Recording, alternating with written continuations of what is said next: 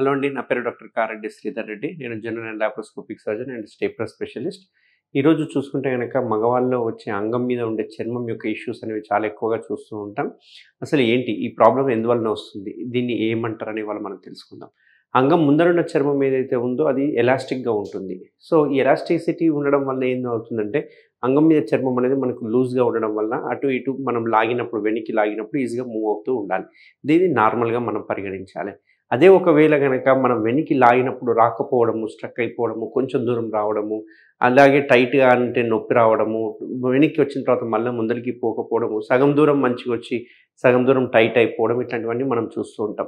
ఈ ప్రాబ్లం ఇంకా ఎక్కువ ఎరెక్షన్ అయినప్పుడు అంగం స్తంభన అయినప్పుడు మనం ఇంకా ఎక్కువ సఫర్ అవుతూ ఉంటాం.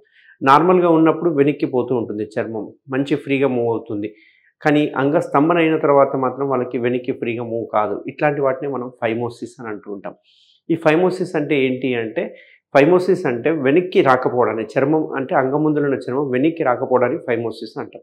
దీనికి కారణాలు చూసుకుంటే కనుక ముఖ్య కారణం ఎయిటీ టు నైంటీ పర్సెంట్ కారణం డయాబెటీస్. ఈ డయాబెటీస్ ఉన్న వాళ్ళకి చర్మం యొక్క క్వాలిటీ పోవడము చర్మం యొక్క ఎలాస్టిసిటీ పోవడం జరుగుతుంది.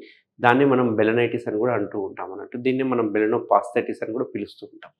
సో ఈ ఫైమోసిస్ ఉన్న వాళ్ళకి మరి ఏం జాగ్రత్తలు తీసుకోవాలి? ఫైమోసిస్ రాకుండా ఎలాంటి జాగ్రత్తలు తీసుకోవాలి. ఫైమోసిస్ వచ్చిన తర్వాత ఎటువంటి చికిత్సలు అవైలబుల్గా ఉన్నాయనేది వాళ్ళు తెలుసుకుంటే కనుక ఫైమోసిస్ రాకుండా మన చేతిలో ఏం లేదు. చిన్నప్పుడు అంటే పిల్లలుగా ఉన్నప్పుడు కిడ్స్గా ఉన్నప్పుడు స్నానం చేయించినప్పుడు పేరెంట్స్ కానీ గ్రాండ్ పేరెంట్స్ కానీ ఒక అవగాహన ఉండాలి వాళ్ళకి. వెనికి అనాల చర్మం అనే ఒక ఐడియా ఉంటే కనుక మనం ఈ ఫైమోసిస్ని అవాయిడ్ చేయడానికి అవకాశం ఉంది. కొందరికి ఫైమోసిస్ అంటే వెనక్కి అన్న కానీ ఏజ్ పెరిగే కొద్ది కల్లా దాని ఎలాస్టిసిటీ పోవడం వల్ల కూడా వాళ్ళకి మళ్ళీ ఫైమోసిస్ వచ్చే అవకాశాలు ఉంటాయి. అంతేకాకుండా డయాబెటీస్ మెయిన్ ముఖ్య కారణం. ఈ డయాబెటీస్ లక్షణాలు ఎలా ఉంటాయంటే డయాబెటీస్ వచ్చిన వాళ్ళకి అంగముందులున్న చర్మము క్రాక్స్ ఫామ్ కావడము కొంచెం ఉబ్బు కావడము మందంగా తయారు కావడము కలర్ మారిపోయినట్టుగా ఉండడం ఇట్లాంటివన్నీ చూస్తూ ఉంటాం. అంతేకాకుండా తెల్లటి జిగురు లాంటి పదార్థం బయటికి రావడము వాసన రావడము కొంచెం దురద పెట్టినట్టుగా ఉండడము నలపడము ఇట్లాంటివన్నీ మనము డయాబెటీస్లో చూస్తూ ఉంటాం. సో ఈ ఫైమోసిస్ అంటే చర్మం వెనక్కి పోకపడాన్ని మనం ఫైమోసిస్గా పరిగణించవచ్చు అన్నట్టు. ఇది నార్మల్గా ఉన్నప్పుడు నా వెనక్కి పోతుంది ఒకవేళ అంగస్తంభన అయిన తర్వాత వెనక్కి పోతలేదంటే దాన్ని కూడా మనం ఫైమోసిస్గా కన్సిడర్ చేయాల్సి వస్తుంది. సో ఫైమోసిస్కి మరి ముఖ్య కారణాలు తెలుసుకున్నాం. దీనికి ఎటువంటి చికిత్సలు అవైలబుల్గా ఉన్నాయి? చూసుకుంటే కనుక మనకు కన్వెన్షనల్ మెథడ్ ఓపెన్ మెథడ్ అంటాం. ఇందులో మనం చర్మాన్ని కట్ చేసేసి కుట్లేయడం జరుగుతుంది. దీనివల్ల కొన్ని నష్టాలు ఉన్నాయి. దీనివల్ల అంత కాస్మెటిక్ రిజల్ట్స్ రాదు. అంతేకాకుండా ఇది కోత మెథడ్ కాబట్టి హీలింగ్ అవ్వడానికి పదిహేను ఇరవై రోజులు టైం పడుతుంది. అంతేకాకుండా విపరీతమైన నొప్పి ఉంటుంది. డైలీ డ్రెస్సింగ్ కూడా అవసరం పడుతుంది. బట్ మన కేఎస్ఆర్ స్టేప్లర్ సర్కంసిషన్ వచ్చిన తర్వాత ఈ ట్రీట్మెంట్ రేంజ్ హాస్పిటల్లో మనం కేఎస్ఆర్ స్టేప్లర్ అనే ఒక పరికరం ద్వారా ఈ చికిత్స అనేది కంప్లీట్ చేయబోతున్నాం అన్నట్టు. చూసుకుంటే కనుక అంగం ఈ రకంగా ముందల గ్లాన్స్ అనేది ఉంటుంది. దీని మీద ఉన్న చర్మం చూసుకుంటే కనుక ఈ రకంగా పైకి ఉంటుంది. కింద ఉన్న చర్మం మాత్రం ఇక్కడ అటాచ్ అయ్యి ఉంటుంది. ఈ అటాచ్మెంట్నే మనము ఫ్రెన్యులం అని చెప్పి పిలుస్తూ ఉంటాం ఫ్రెన్యులం ఇది ఒక థిన్ అటాచ్మెంట్ ఉంటుంది. ఈ ముందలున్న చర్మం ఏదైతే ఉందో షుగర్ పేషెంట్లో ఈ చర్మం ముద్దు బారిపోవడము కలర్ మారిపోవడము థిక్ అయిపోవడము దాని ఎలాస్టిసిటీ పోవడం వల్ల వెనక్కి అన్నప్పుడు రాదు.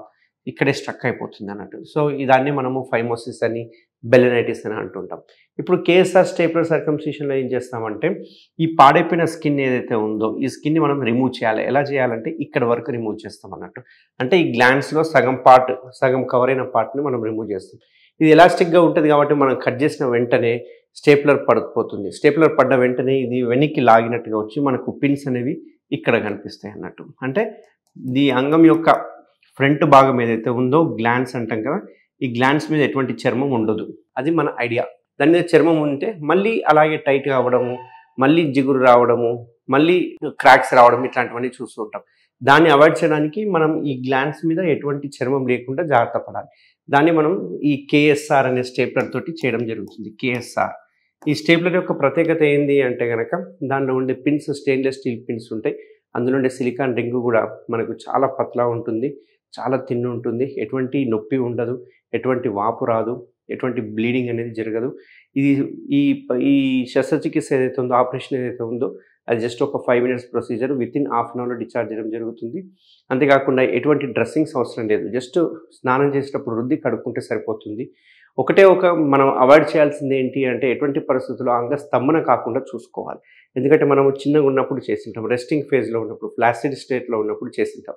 సో సడన్గా అంగస్తంభన అయినప్పుడు కుట్లు విడిపోయే అవకాశాలు ఉంటాయి పిన్స్ ఊడిపోయే అవకాశాలు ఉంటాయి బ్లీడింగ్ వచ్చే అవకాశం ఉంటుంది. కాబట్టి దాన్ని అవాయిడ్ చేయడానికి కొంచెం వరకు ఈ అంగస్తంభన రాకుండా చూసుకుంటే సరిపోతుంది. అంతేకాకుండా ఒక ఫోర్ వీక్స్ వరకు ఎటువంటి పరిస్థితుల్లో కలయిక అనేది జరగకూడదు ఇంటర్ కోర్స్ అనేది చేయకూడదు. సో ఇది చాలా simple procedure just five minutes procedure within thirty మినిట్స్లో మనం డిశ్చార్జ్ చేయడం జరుగుతుంది ఎవరికైనా ఇటువంటి ఫైమోసిస్ ప్రాబ్లమ్స్ ఉంటే తప్పకుండా ట్రీట్మెంట్ రేంజ్ హాస్పిటల్ని అవైలబుల్గా ఉంటాను తప్పకుండా కన్సల్ట్ అవ్వండి thank you thank you Sridhar Reddy sir thank you doctor Sridhar Reddy sir thank you Sridhar Reddy sir thank you Sridhar Reddy sir thank you Sridhar Reddy sir thank you Sridhar Reddy sir thank you Sridhar Reddy sir thank you Sridhar Reddy sir thank you Sridhar Reddy sir thank you Sridhar Reddy sir